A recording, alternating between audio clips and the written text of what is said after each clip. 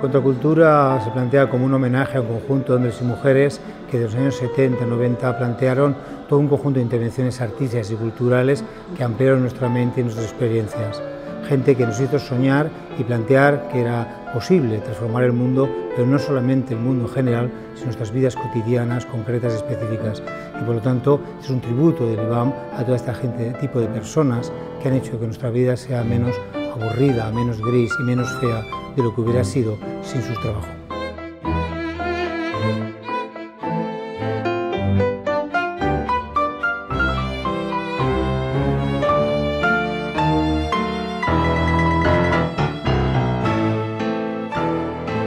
Exposición Contracultura en Valencia, Utopía, Resistencia y Provocación eh, intenta reivindicar toda una época, intenta reivindicar unos experimentos estéticos que tienen lugar entre los años 70 y 80, sobre todo en la ciudad de Valencia, y intenta un poco buscar cómo todo esto nos, se relaciona con nosotros, se relaciona con el presente y qué nos puede aportar al presente.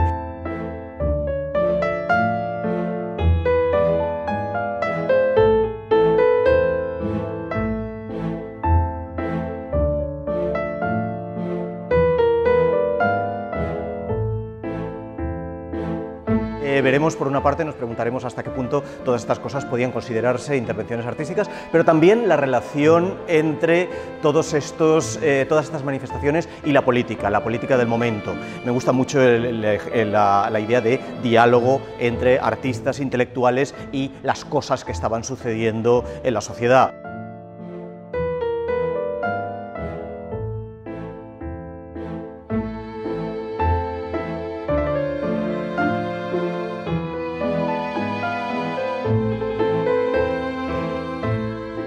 Eh, vemos una serie de materiales muy amplia que van desde los collages, fanzine, fotografías, cómics, eh, va un montón de materiales y yo creo que también es una manera de decir que todo esto quizá también puede ser arte.